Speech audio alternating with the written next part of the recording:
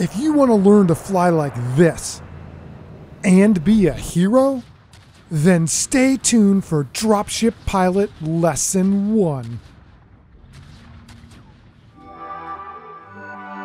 Over the last 15 years, I have really enjoyed the challenge of mastering the skills that are necessary to fly troops into and out of combat safely.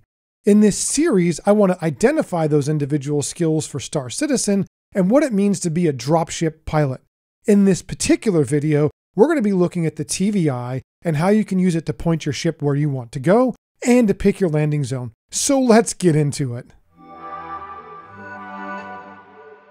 One of the first things we need to do is fix some of the disastrous default settings. So we're going to go into options. We're going to go down to flight proximity assist defaults on, and we're going to turn this to no. Then we're going to go to flight space brake engages boost, and we're going to make sure that this is turned on. Lastly, we're going to go to pilot velocity indicator, and we're going to make sure it says always on. Before we can do some of the cool things as a dropship pilot, we need to make sure we're on the same page of understanding.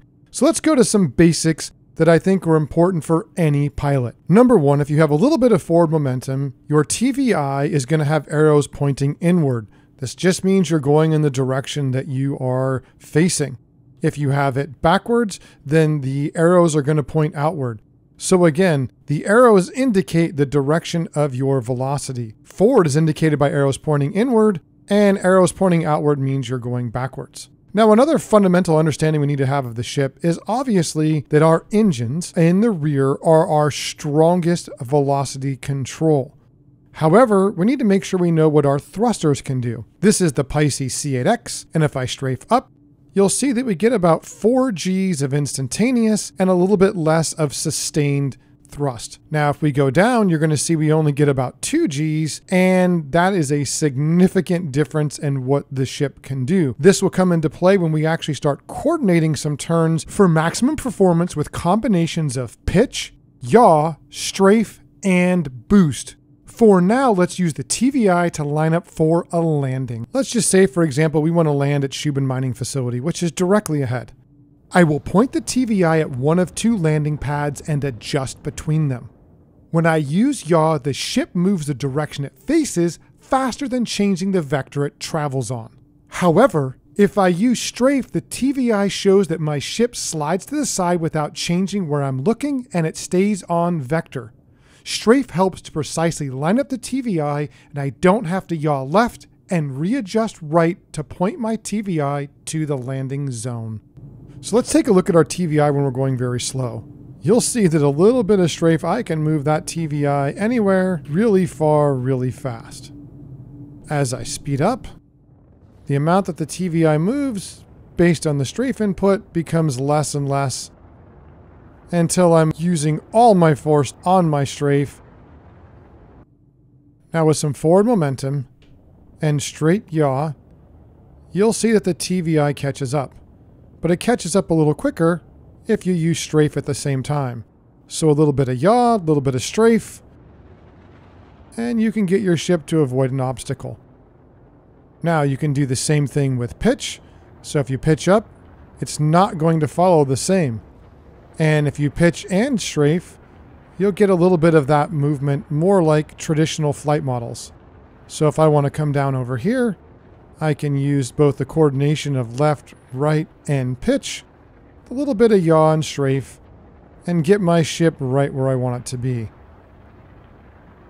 But if I want to pull up out of here, it's going to work better if I do a coordination of the two because it'll help reduce the circle and it just gives me more strength in that direction. This time we're going to take a look at all three. We're going to have our forward momentum going. We're going to use a little bit of strafe and yaw and boost at the same time. So if we yaw, strafe, and boost, you're going to see that it starts to push the ship where we want to very quickly. At higher speeds, this becomes more important. So we will yaw and boost and get that in there, but then a little bit of strafe. So the coordinated effort is more important at higher speeds.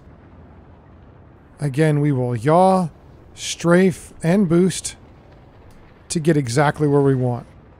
And if we're going at max velocity,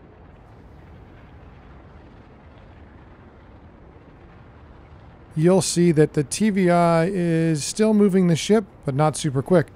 If you need to do something like get down here, you're going to need to use a coordination of those.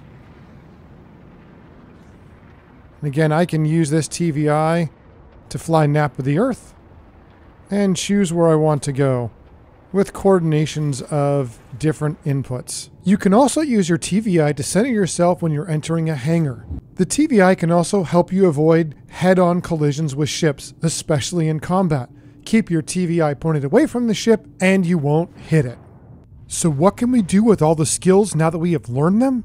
In the next videos, I will teach you to master the skills of being a dropship pilot so you can fly low and fast to rescue your friends and be the hero.